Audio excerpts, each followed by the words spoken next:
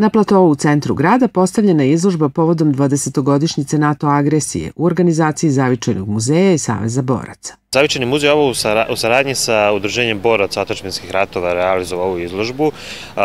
Materijal je, uglavnom su to fotografije koje prikazuju neke scene bombardovanja cele države u, u tom trenutku. Takođe tu su podaci o, o stradalim vojnicima iz naše opštine sa kraćim biografijama. Izložba takođe ukazuje na neke posledice a, tih, to, te NATO agresije 1999. godine, a imamo i neke zanimljive mape koje, koje prikazuje ciljeve koje su bombardovani, prikazuje ovaj, šta je sve porušeno, Izložba sadrži različit materijal, dokumentarne fotografije, pa čak i letke koje su bacane iz aviona u periodu NATO agresije i biće postavljena do kraja aprila.